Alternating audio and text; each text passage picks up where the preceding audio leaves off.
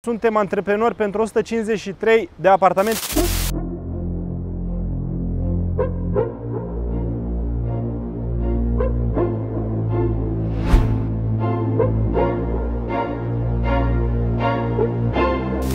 Salutare dragi prieteni, bine ați revenit la librăria TV Nexo Install, sunt Sorin Lăpădatu și astăzi am venit la Rebreanu 30 la acest frumos bloc unde noi suntem antreprenori pentru 153 de apartamente pe absolut toate instalațiile. Vom executa aici instalații termice, sanitare, electrice, gaze, climatizare și de incendiu.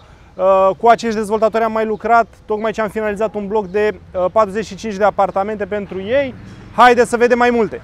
După cum vedeți, uh, avem compartimentare cu cărămidă pe 4 etaje și structura este deja executată pe 7 sau 8 etaje chiar. Primul pas a fost să montăm meșa pe blocul Nexo Install pentru ca cei interesați de aceste apartamente să conștientizeze calitatea instalațiilor, bineînțeles, din acest bloc.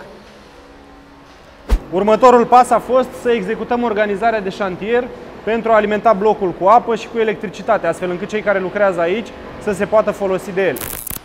Prima etapă de execuție a fost execuția instalațiilor electrice, întrucât ea se face înainte de tencuială și Uh, am început cu șlițuirea pereților, cu execuția traseelor, uh, adică a conductorilor prin pereți și, uh, bineînțeles, cu montajul dozelor. Anumite firme montează aceste doze după tencuială, noi preferăm să le montăm înainte și dezvoltatorul preferă asta pentru că e foarte tipicar.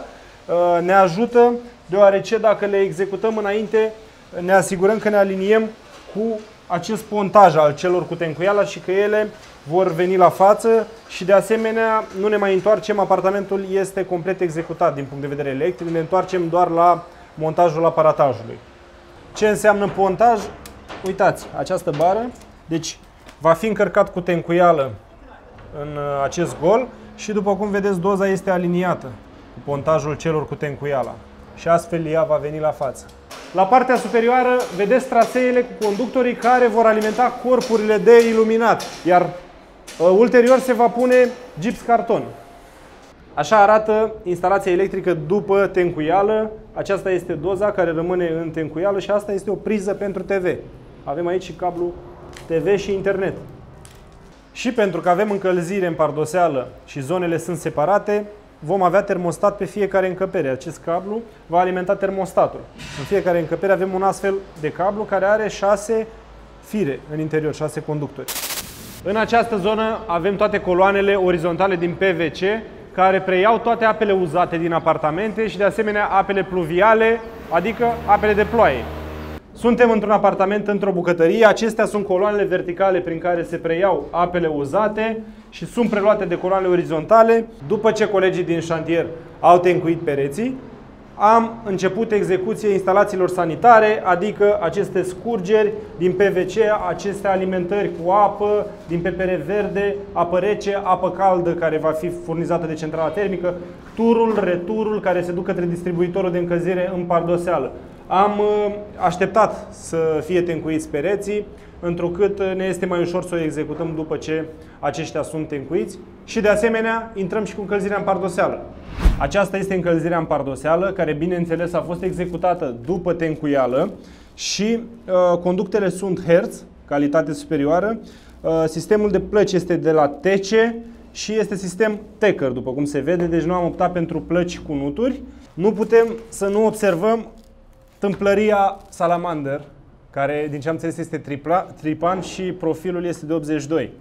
Uh, foarte important. Și, după cum vedeți aici, conductele de încălzire în pardoseală au un pas mai mic. Uh, adică distanța dintre ele este mai mică pentru a compensa pierderile generate de această fereastră mare, pierderile de căldură. Deci această zonă va fi mai caldă.